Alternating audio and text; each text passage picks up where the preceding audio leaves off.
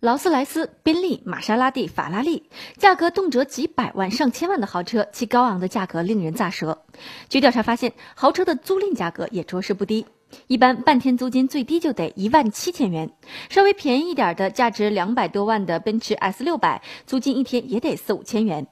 青岛福基租车公司的韩小姐表示，他们店里都要为对外出租的豪车配备专门的司机。如果车主想自己驾车也可以，但是费用相对要更贵一些。比如法拉利、兰博基尼等跑车，自驾一天的租金在十万左右，三天起租，而且在租车前需要首先支付押金五十万。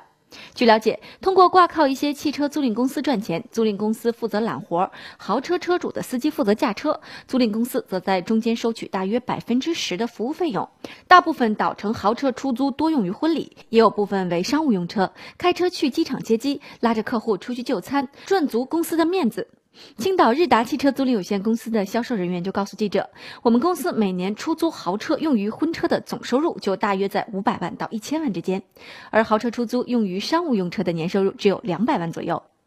日达汽车租赁的销售人员还向记者透露，挂靠在他们公司的豪车车主多半是富二代，这些人的年龄也就是二十二三岁的样子，大多是富二代。这些人说来也奇怪，花那么多钱买了豪车，自己不开，却放在出租公司里赚这么点租赁费。